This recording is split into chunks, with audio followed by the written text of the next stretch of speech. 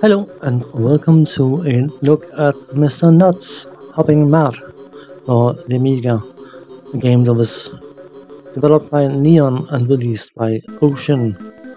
For reference, Neon is supposed to be uh, renamed Factor 5, but personally I didn't recognize any members of the Factor 5 team, so of course that could have changed over the years.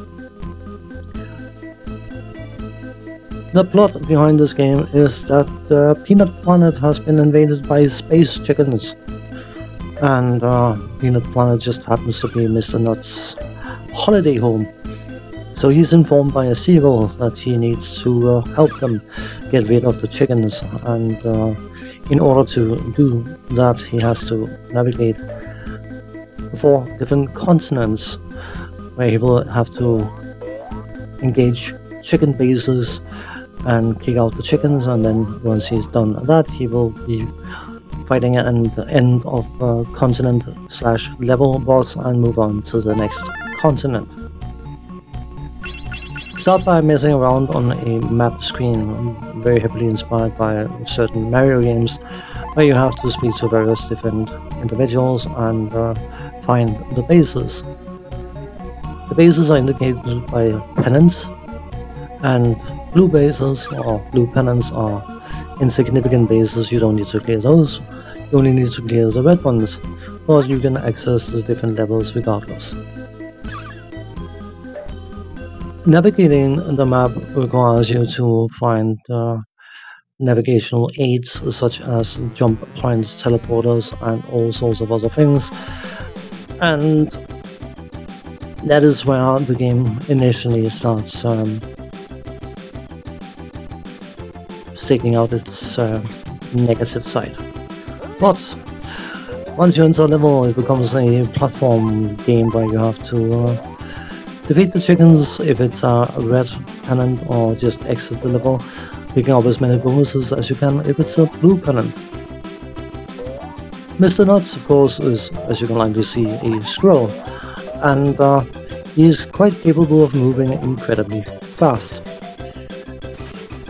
Faster he moves, the longer he can jump and all that kind of stuff. And if he jumps on top of an enemy, he can uh, damage the enemy. Most enemies will take two hits like that in order to be disposed of.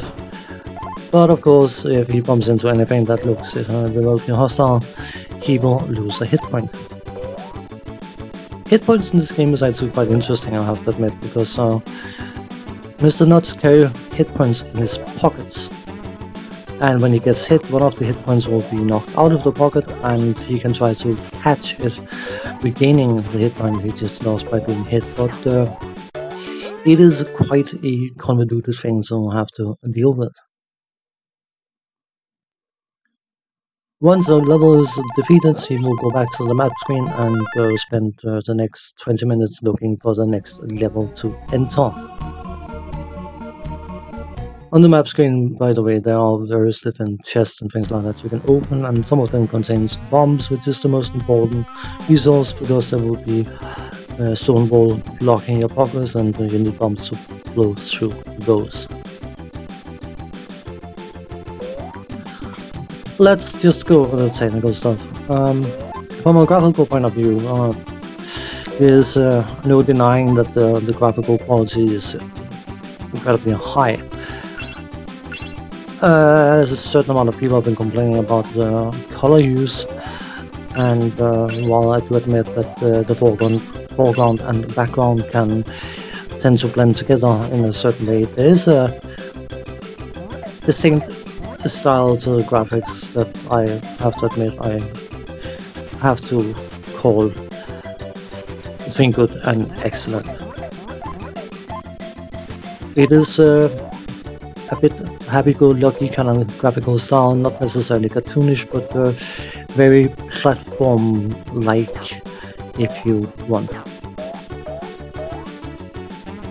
The sound effects are fitting for the game, and as such they work perfectly fine. Um, nothing really stands out as such, and nothing feels like it doesn't belong the music, uh, different people have different opinions about the music, and um, some people like it and some people don't. Some people think it's childish, and some people think it's perfectly acceptable. And uh, I didn't mind the music. I did find the interval music to be a bit catchy, perhaps. Um, not music I would seek out in order to listen to it, but I would happily listen to it while I was playing the game. But now we get into the wonky side of things because uh, the controls. You can play this game using a joystick or a joypad, and a joypad of course has the advantage of having two buttons, which means that if you play with the joypad you will jump using a button instead of using the up uh, directions on the joystick and personally I found that to be significantly more enjoyable which doesn't necessarily say much. Left to move left, right to move right, up to jump, down to duck. And while the controls are perfectly fine when you are running and jumping and all that kind of stuff, in the flying section, because you can pick up feathers so you can start flying, are bizarre. The controls um, requires a lot of practice to get remotely used to, and because of the pacing of the game, uh, you yeah you you feel like the game controls you. You're not controlling the game. Certain people have implied that this was a sort of attempt at making a Sonic game on the Amiga, but it wasn't a Sonic game. And if you look at the gameplay and the pacing and all that kind of stuff, you can see some um, connection between those claims and the actual game. But the issue with this game is actually its pacing. There's a lot of momentum around the character, which makes sense, but the time it takes you from full stop to full acceleration, especially when you're going downhill, is incredibly short. Meaning that um, in no time flat you end up at a speed where if you jump you uh, land seven screens down the gameplay field bumping into something you can't possibly know is there unless you play the game several times. You bump into spikes, chickens, bees, whatever they might be, just because you are building up speed and jumping and not knowing the game well enough to be aware of the fact that you have to pace yourself before you jump. And there are bucket loads of those situations. I'm not going to claim this game is bad, but what I'm going to say is that if you take your time to master it, I'm sure you can make a playthrough of this game look exceptionally cool. But the trial and error involved in reaching that point and the incredibly uh, tedious navigating of the map to actually find the different levels will probably kill your desire to even attempt to master this game.